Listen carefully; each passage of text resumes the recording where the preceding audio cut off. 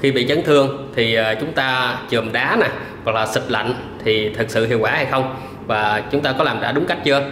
Hoàng Sơn xin chào bà con ha. Hôm nay Hoàng Sơn à, cùng dược sĩ Tấn sẽ chia sẻ vài thông tin cùng à, cô chú anh chị mình nha. Thì uh, hiện tại thì trên thị trường nó có những cái sản phẩm mà xịt lạnh mà nó chứa có những thành phần như là tinh dầu menthol đó, nó làm lạnh và nó phong tỏa thực thận vết thương đó và nó giảm sưng giảm viêm và sau đó thì nó sẽ hồi phục nhanh hơn là mình sẽ xử lý bằng chầm đá. Trên thị trường mình đang có chai xịt lạnh Starban của Dạ. Hà Lan. Thì đây là cái chai này là mình sẽ sử dụng à, trong quá trình mình vận động là có xảy ra chấn thương mình sử dụng để xử lý chấn thương hoặc là mình à, sử dụng trong cái trường hợp mà bị à, căng cơ hoặc là chuột rút. Dạ. Và sau khi vận động thì mình có thể sử dụng nó để mình hồi phục nhanh hồi phục chấn thương nhanh hơn. Thì cái ờ, chai xịt lạnh này là nó được sử dụng cái công nghệ là POV của người Hà Lan. Họ sản xuất ra.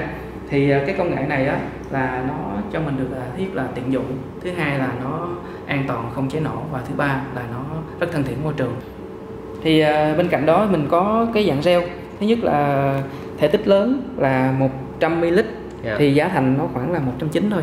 Thì cái dạng sale này nó ưu điểm của nó là mình có thể sử dụng trên một diện rộng với một lượng nhỏ. Dạ. nó tiết kiệm được. Tức Còn là cái- cái dạng reo là mình để tho Dạ. còn cái dạng xịt là để xử lý nhanh và ở cái vùng rộng lớn. Dạ. xịt mạnh và dứt khoát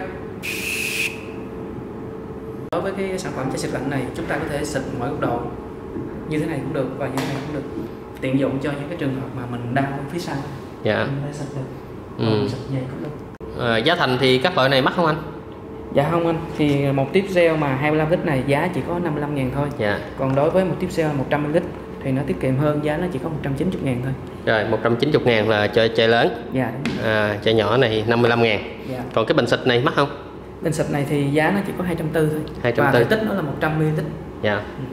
Thì ờ, đối với ờ, dạng sale và xịt này mình lưu ý là không sử dụng cho những vết thương hở. Nguồn gốc sản xuất của sản phẩm này ở đâu anh? Thì tất cả những sản phẩm ờ, Starban này là do công ty Novum Pharma đến từ Hà Lan sản xuất tại Hà Lan luôn dạ, sản xuất tại Hà Lan ha. Dạ. Bên cạnh sản phẩm làm lạnh thì mình còn có sản phẩm à, làm nóng ha khi chơi thể thao. Hoàng Sơn có video chia sẻ cùng bà con mình rồi.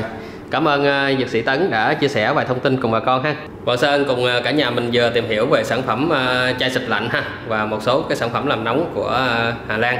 Rồi cảm ơn cô chú đã theo dõi. Có gì thắc mắc thì bà con mình gọi điện trực tiếp cho Hoàng Sơn vào số điện thoại bên dưới hoặc là xem thêm thông tin trong mô tả ha để biết thêm về các sản phẩm này. Rồi chúc bà con mình nhiều sức khỏe tạm biệt và hẹn gặp lại ở video sau.